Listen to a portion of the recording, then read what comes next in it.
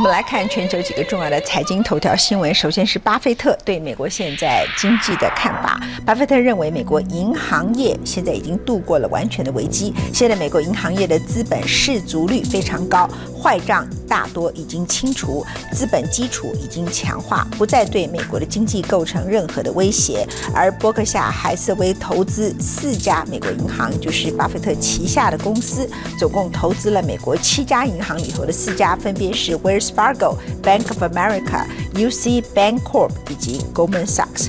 而美国 San Louis 的联邦储备银行主席 James Bullard 在一月十号发了一个非常重要的谈话，外界很关心的 QE 政策什么时候退场？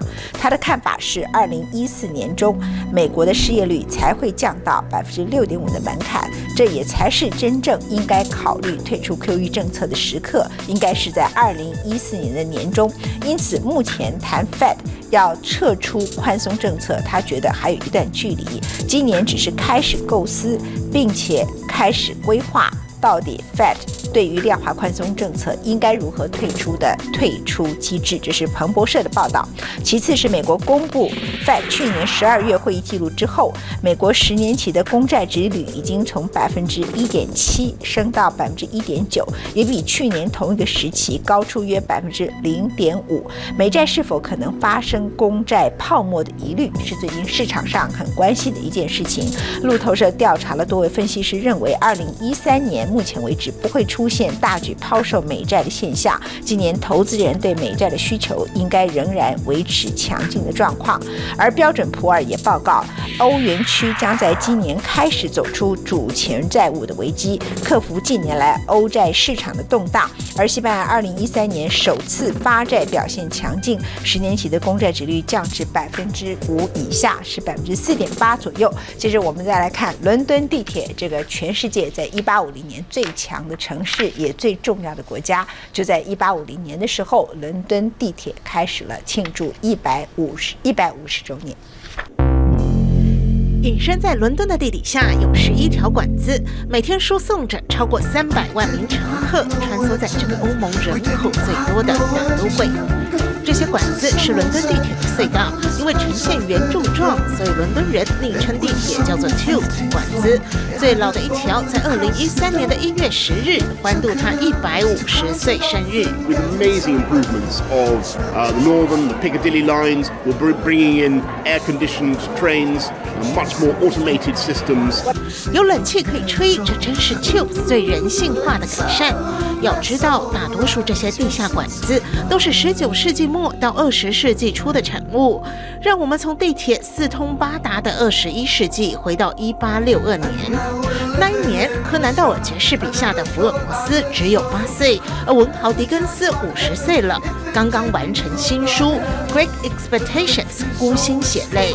他笔下的伦敦拥挤庞杂，是当时世界规模最大的城市，所以拥塞的交通并没有比现在的伦敦好到哪里。London was very crowded. in the 19th century. You know, there were market stalls in the streets, there were costermongers, whatever. So the idea came to try to unblock the London streets with an underground railway. 挖掘地下轨道，这是一项历史性的创举。一八六三年一月十日，人类首条地下铁路系统正式开通，取名叫做伦敦大都会铁路。一开始只有七个车站，全长仅仅九点七公里，台车是用燃煤蒸汽火车头拉的。Just imagine what it was like to travel on it. All that smoke, all that sulfur, like breathing crocodile's breath.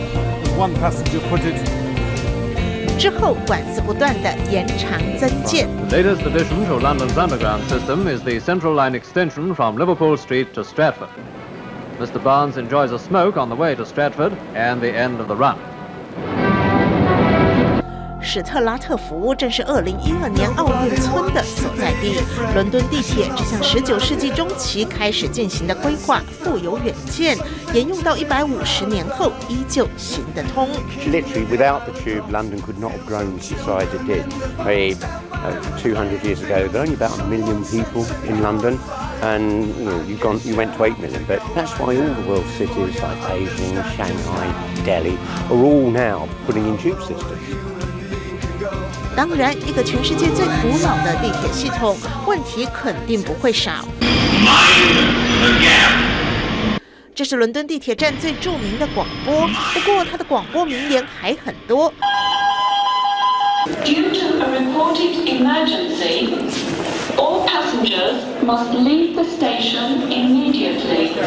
紧急疏散，这也是在伦敦搭地铁三不五时会碰到的状况。原因五花八门，不过恐怖攻击警报最是惊恐。而设施老旧，更让伦敦的地铁只要多下一点雨就可能瘫痪了。而且它还是全世界最昂贵的地铁系统，单程四点五英镑起跳，合新台币两百一十块。Once again the tube's on strike. The greedy bastards want extra pay for sitting on their ass all day, even though they earn 30k. So I'm standing here in the pouring rain. Where the fuck's my fucking train? London Underground. 这是讽刺伦敦地铁的经典歌曲，用字遣词毫无修饰。不过伦敦人恨他，却也爱它，或者说是不能没有它。它是电影中最能代表伦敦的风景之一。Your new transportation.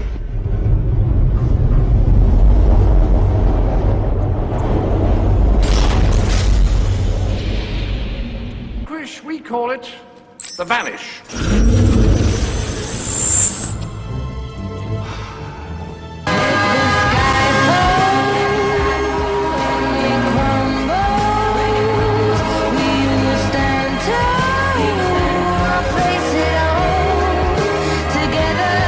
最新一集的《零零七》电影，庞德探员就在 Charing Cross 地铁站上演追逐戏，最后还有一列地铁列车就这么撞开了他的管子。看到这一幕，或许有人会认同伦敦地铁需要彻底的大翻修。 London doesn't actually have enough tube lines. We're going to get Crossrail, we've got the Thameslink improvements, but we really need to get cracking on devising at least two more tube lines to cope with the demand in the 21st century. 虽然市长承诺将加速地铁的大规模升级，只是常年的投资不足，加上政治角力，伦敦地铁要有多大的要劲，恐怕还需要时间。而在那之前，伦敦人与他的爱恨情仇将会继续下去。中国大陆的海关署正式的公布十二月份的进出口报告，出口呢年增百分之十四点一，进口年增百分之六，那么被认为呢是近年来最好的数字。英国金融时报的报道是，这个数字显示大陆的贸易正出现了反弹，它的经济正稳步增长。而这个数字公布的同时，即将于三月出任大陆国务院总理的李克强也特别。再次的保证，大陆将加强基础建设的开支，并且承诺会扩大城镇化以及相关的内需。那么，花旗银行的经济学家认为，这一次确认了大陆第四季经济将会上升的势头，中国经济将可能在二零一二年第四季度反弹，重返百分之八的增长率。但是，上证指数这个礼拜呢，基本上是出现跌幅的情况，尤其是礼拜五的时候大跌了百分之一点七八，收在两千两百四十三点的相关的数字。非常谢谢收看今天的《文茜世界财经周报》，下礼拜见，拜拜。